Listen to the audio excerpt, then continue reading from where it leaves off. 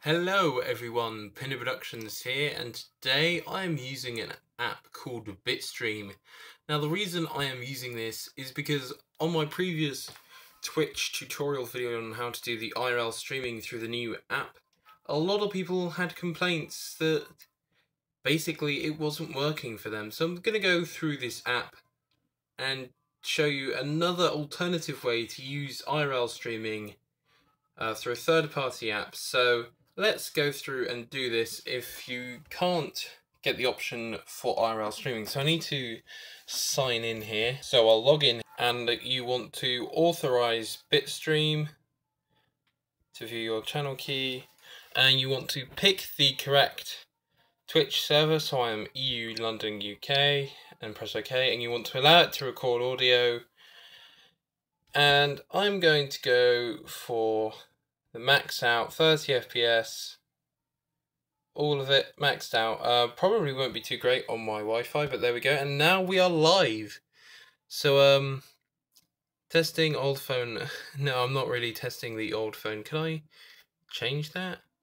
No okay. So you will need to use the Twitch app beforehand or something else to go to your dashboard and edit that Oh, so I can actually chat. You can see chat down there in the bottom left. So that's really quite useful then for some people possibly if you can see the chat and you can actually chat in the chat as well which could be quite useful for some um, that's a feature that again the actual twitch app didn't have and also you can adjust the settings in this app which is another one the twitch app didn't have i wonder can i switch the camera around you can. You can switch camera. Uh, you can detect rotation, lock rotation, microphone. I guess that's a microphone mute there. And I will edit in a clip of this stream so you can see what the quality was like. I'll download it after the stream has uh, become a VOD.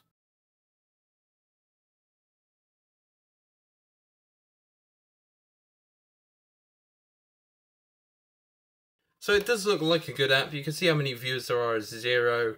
I do want to thank you for watching. I hope this has helped. If you want to try and do the first party Twitch app, if that is, or if you haven't tried it yet, then um, I'll put a link to that in the description, that tutorial. And I hope this has helped anybody who was struggling to use that app and who the app didn't work for. Anyway, again, thank you for watching and I will see you next time. Bye. And I forgot to mention that that is how you end the broadcast with that red stop button there. uh, and I'm going to stop my recording now.